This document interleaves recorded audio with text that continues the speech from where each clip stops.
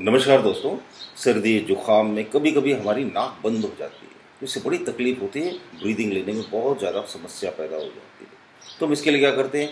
Vicks VapoRub लगाते हैं, या फिर कोई नेजल ड्रॉप लगाएँगे ऑट्रीविन या नेसीबियोन अब ये जो नेजल ड्रॉप रहते हैं एंटीबायोटिक्स रहते हैं, ये हमें काफ़ी नुकसान पहुँचाते हैं। टाइम बिंग तो ये हमारी नाक को खोल देते हैं। लेकिन चुटकियाँ बजाते आपकी नाक खुल जाएगी, आप आजमा कर देखना।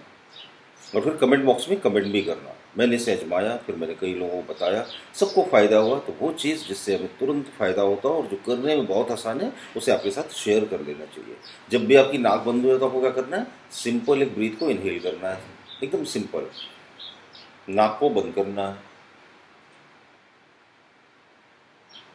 ब्रीथ को होल्ड करके रखना नाक को खोलना धीरे धीरे ब्रीथ को छोड़ देना। तुरंत नाक खुल जाएगी आपकी। दो तीन बार इसको कर सकते हो आप। समझो आधे घंटे, पंद्रह मिनट या एक घंटे बाद फिर नाक ब्लॉक हो गई। दोबारा से एक्सरसाइज को कर लो। इसका कोई भी साइड इफ़ेक्ट नहीं क्योंकि कोई दवाई ले ही नहीं रहे हो आप। एक तरह से कुंभक प्राणायाम भी हो रहा है, क्योंकि आप ब्रीद इनहेल कर रहे हो होल्ड कर रहे हो, छोड़ रहे हो।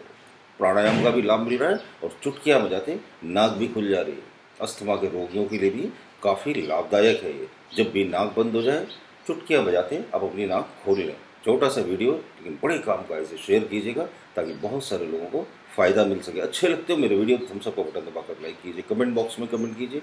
अभी तक चैनल सब्सक्राइब नहीं हो तो ज़रूर सब्सक्राइब कर लीजिए। बहुत बहुत धन्यवाद आप